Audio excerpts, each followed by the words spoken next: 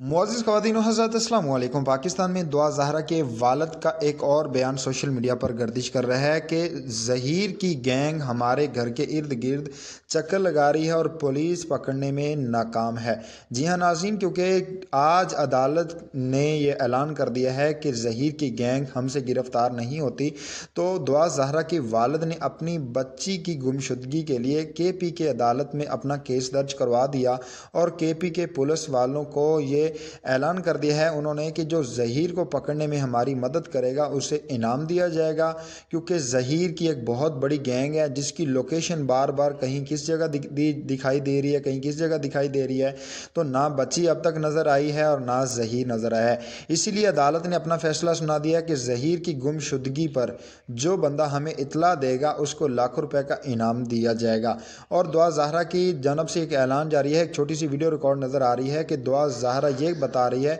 कि मेरे पापा मुझे बचा लो, ये जहीर मुझे मार डालेगा। ये वीडियो सोशल मीडिया पर गर्दिश कर रही है।